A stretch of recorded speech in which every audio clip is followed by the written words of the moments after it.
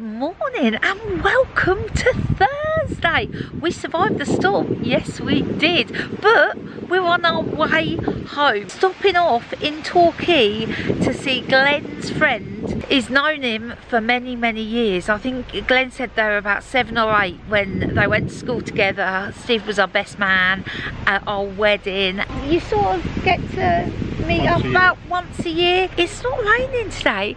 We have got a bit of blue sky. It's windy, more rain is forecast though. So we're gonna head home. I mean, we came on this holiday to be with the kids and they left. So I've been bumbling around with Mr. Warner, but yeah, we're gonna we're gonna make our way home today.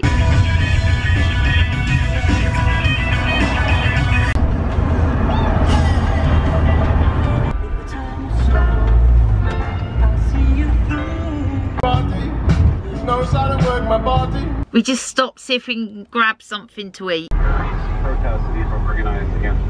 Three years ago. Did you know that Torquay was the birthplace of Agatha Christie? I didn't either. So here we are, we're in Torquay. We're heading just to the outskirts to meet up with Glenn's friend. This looks lovely.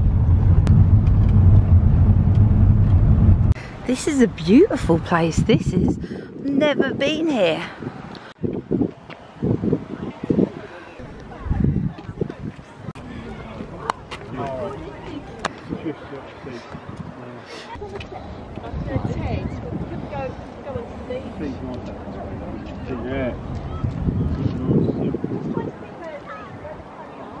I was just saying that it's such a long trip down to the beach.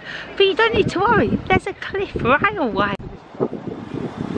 Excellent, I'll definitely use that rather than walking. Yeah. Off we go. It says three hour 45 till we get back to Milton Keynes.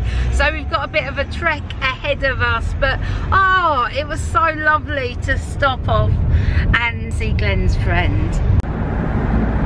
Those cruise ships are sitting out there empty. They've been bobbing around in there throughout lockdown apparently. There were six originally bobbing around out there. Apparently it costs a lot of money for them to moor at Southampton. Thousand pounds a day. It's a lot of money. So they've been bobbing out there.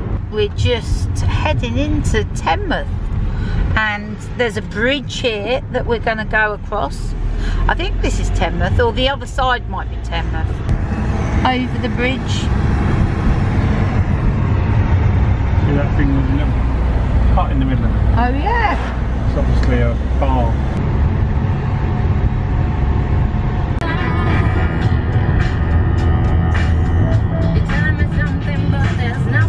After a quick comfort break at Sedgemoor Services, we're on our way again. We've got 2 hours 22 minutes left, 113 miles.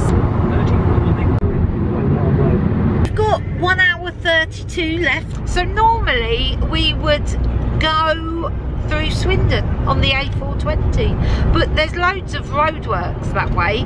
So we get to cut across the Cotswolds, which is my absolute favourite part of the journey. As I said, we don't come this way often, but when we do, I relish it.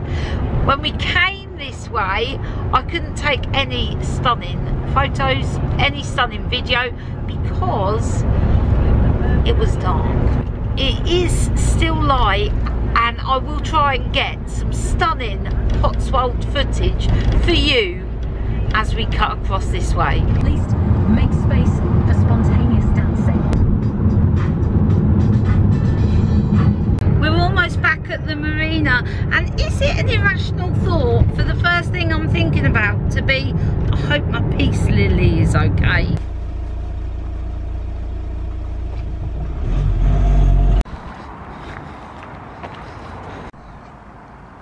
A yellow nutshell.